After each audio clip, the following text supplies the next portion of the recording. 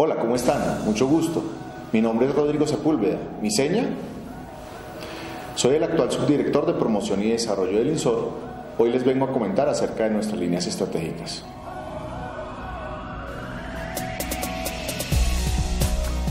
Nuestra primera línea estratégica es fortalecimiento institucional. Con ella buscamos que las instituciones garantes de derechos realicen ajustes razonables que permitan el acceso a la información y a los servicios de la población sorda. Esto lo hacemos a lo largo de los lineamientos misionales que tiene cada una de las instituciones garantes de derechos, sus oficinas de atención al ciudadano y los mecanismos de registro de la información de dichas atenciones. Realizamos un proceso de asistencia técnica con el cual buscamos que las instituciones eliminen sus barreras actitudinales y comunicativas, de tal manera que en cinco entornos de derechos, primera infancia y familia, trabajo, salud, justicia y sociedad civil, logremos un verdadero goce efectivo de derechos de la población sorda en Colombia.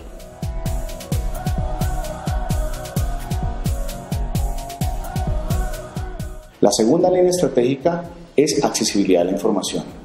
Consideramos desde la Subdirección de Promoción y Desarrollo que es fundamental que la población sorda conozca cuáles son sus derechos, qué instituciones son las garantes de los mismos y mediante cuáles servicios se pueden ejercer dichos derechos ofrecidos por tales instituciones. Realizamos tres acciones puntuales en este sentido. Lo primero es, de la mano con las instituciones garantes de derechos, comentarle a la población sorda la misión, la visión y los servicios que presta cada una de las instituciones con el fin de que la población sorda pueda encontrar la fuente del ejercicio de sus derechos. La segunda es poder hacer una acción de fortalecimiento institucional a los canales de atención al ciudadano virtuales. En este caso, adaptamos los formularios electrónicos para que tengan tutoriales en lengua de señas con los cuales las personas sordas puedan acceder directamente a los servicios que presta cada institución. Y la tercera es el Estado en Señas, una acción mediante la cual agrupamos todas las instituciones que ya cuentan con ajustes razonables y le comentamos a la población sorda acerca de esta situación para que puedan acercarse a esas instituciones y beneficiarse de sus servicios. De esta manera logramos que la población sorda tenga un acceso a la información en tiempo real, de manera actualizada y en relación directa con el ejercicio de sus derechos en el día a día.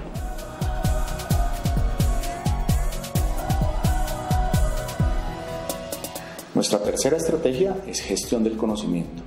Estamos convencidos que el impacto de las acciones que desarrollamos en fortalecimiento institucional y en accesibilidad a la información depende del conocimiento que tengamos sobre la población sorda y sus problemáticas. En este sentido, desarrollamos tres acciones puntuales en gestión del conocimiento. La primera de ellas es poder consolidar información cuantitativa proveniente de las instituciones garantes de derechos, con la cual podemos hacer análisis estadísticos que nos lleven a orientar y focalizar nuestras acciones en fortalecimiento institucional y en accesibilidad a la información. La segunda es poder realizar alianzas con otros observatorios y con la academia y otras instituciones que gestionan conocimiento con el fin de que podamos desarrollar acciones y divulgar conocimiento en torno a la problemática y el ejercicio efectivo de derechos de la población sorda.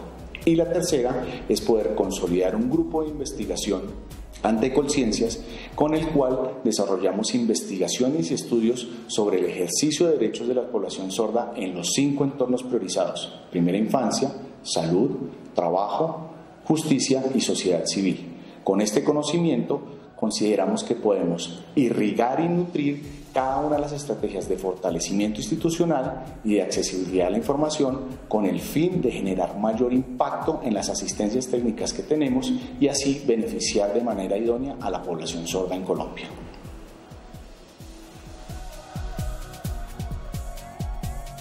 Estamos convencidos que con instituciones que presten una atención pertinente a las personas sordas, que con personas sordas que conozcan sobre sus derechos, cómo ejercerlos y dónde acudir para facilitar el ejercicio de los mismos, y con un Instituto Nacional para Sordos que cuente con mayor y mejor conocimiento acerca de las problemáticas de la población sorda y cómo solucionarlas, podremos facilitar la inclusión social de la población sorda en Colombia.